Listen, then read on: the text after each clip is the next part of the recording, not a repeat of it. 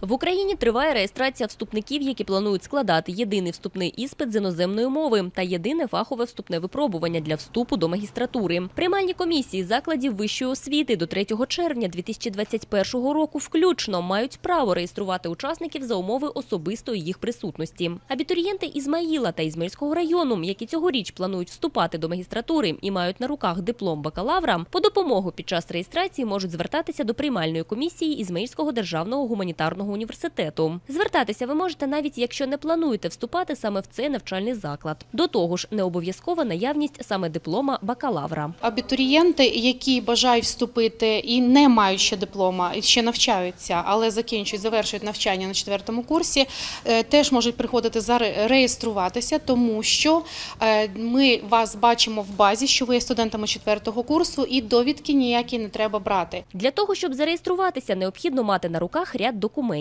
Вам необхідно взяти з собою паспорт, ідентифікаційний код, фото, одне фото 3 на 4 і також е, диплом, якщо є у вас на руках.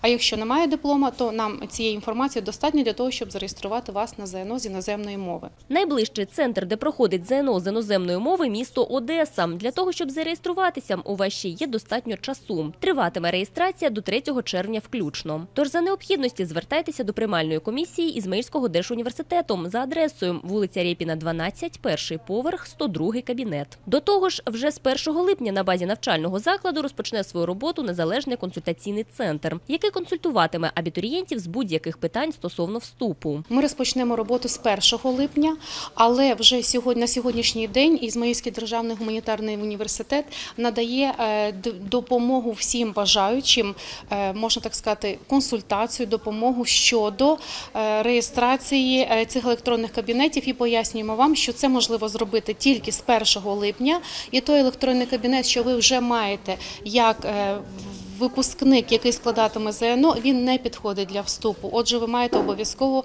створити новий електронний кабінет, і він називається електронний кабінет вступника. Відзначимо, що створити електронний кабінет вступника ви можете як самостійно, так і за допомогою спеціалістів приймальної комісії. Адже тут важливо правильно відсканувати документи та завантажити їх у систему.